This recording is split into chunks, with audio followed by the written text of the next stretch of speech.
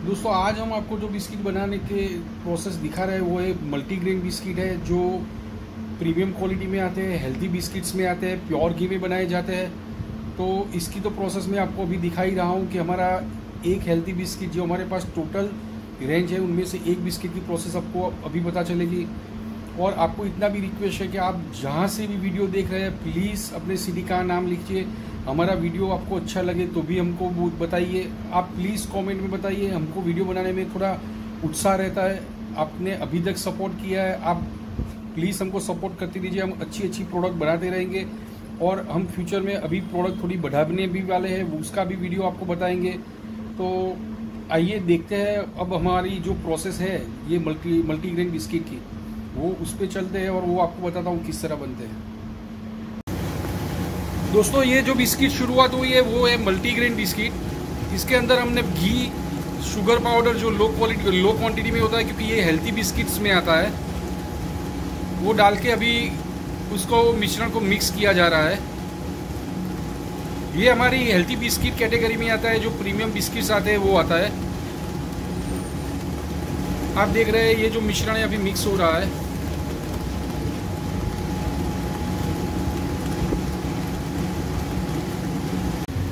ये जो मिश्रण बन रहा था, उसके अंदर हमने थोड़ा दूध डाला है। दूध के बाद अभी मल्टीग्रेन आटा डाला जा रहा है।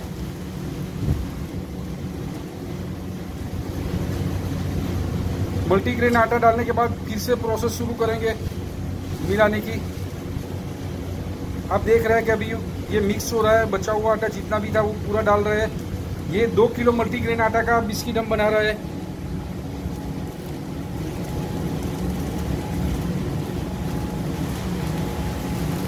इसको प्रॉपर एकदम मिक्स करने देंगे अभी तक लास्ट तक। देखिए, आपको धीरे धीरे दिखाई दे रहा होगा कि धीरे धीरे मिक्स हो रहा है।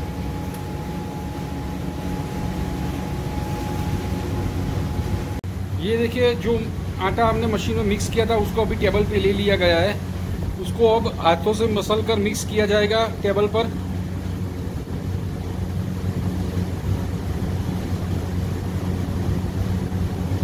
ये भी प्रोसेस आप देख रहे हैं।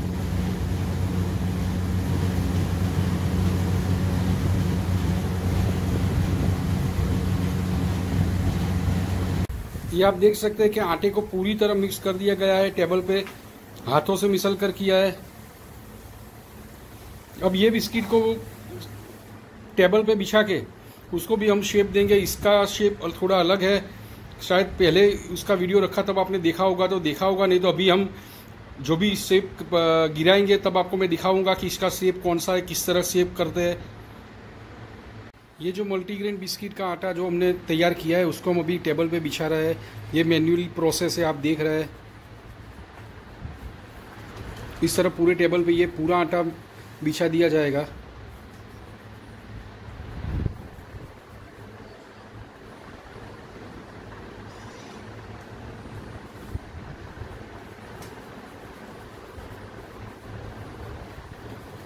ये देख रहे हैं, अपनी, अभी मैन्युअली हाथों से किया जा रहा है।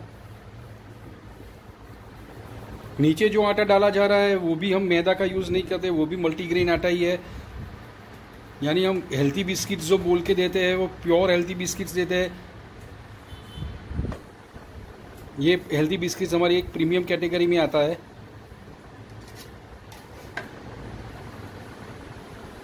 ये देखिए, थोड़ा सा आटा पहले टेबल पे डाला मल्टीग्रेन आटा अब उस पर वो कच्चा मावा है, उसको स्प्रेड कर रहा है, यानी बिछा रहा है। ये जो मल्टीग्रेन बिस्किट का कच्चा मटेरियल जो हमने स्प्रेड कर दिया था उस पर अभी हम वाइट तिल डाल रहे हैं। ये गार्निशिंग के लिए होता है, मगर वो हेल्थी ही होता है, यानी कोई अनहेल्दी प्रोडक्ट्स यानी अनहेल्दी आइटम कुछ भी हम उसमें इस्तेमाल नहीं करते। ये देखिए, मैं आपको दिखाता हूँ नज़दीक से वाइट तिल।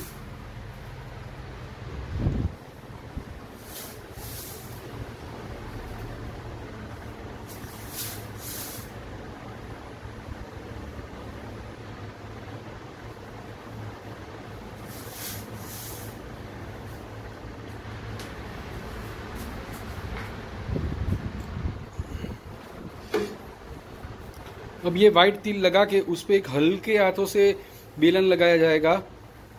यानी कि बेला जाएगा। उसका रीज़न है कि ये जो तिल है, वो आटे के साथ चिपक जाए।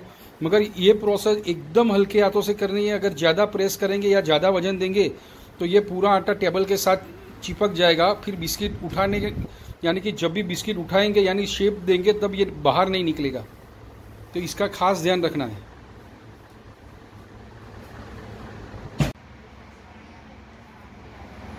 अभी ये बिछाए हुए मावे से अपने मोल्ड मोल्ड लेके उसको बिस्किट का शेप देके प्लेट में रख रहा है। ये आप देख सकते हैं कि पूरी तरह। ये बिस्किट का शेप हमारे यहाँ इस तरह होता है, यानी समझो तो ये सिलेंडर टाइप बोला जाता है।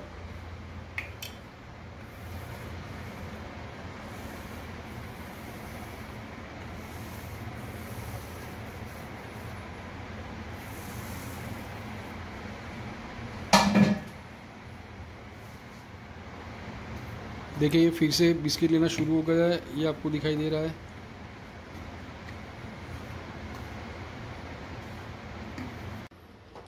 ये देखिए, तीन प्लेटें तो ऑलरेडी भर गई है। अभी चौथी प्लेट का काम चालू है। ये प्लेटें भर जाने के बाद इसको भी हम प्रीहीट हो चुके ओवन के अंदर डालेंगे उसको भी। वो भी मैं प्रोसेस आपको दिखाऊँगा। आप वीडियो पे बने रहिए। मल्टीग्रेन बिस्किट की प्लेटें तैयार है और हम प्री हीट हुए हुए ओवन में डाल रहे हैं।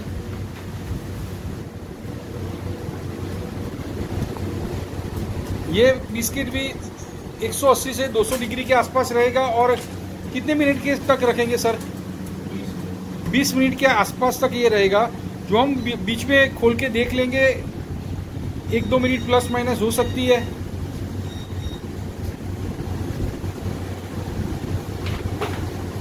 ये हमारे मल्टीग्रेन बिस्किट बनके तैयार हो चुके हैं। अभी ये ओवन में से निकाल रहे हैं हम।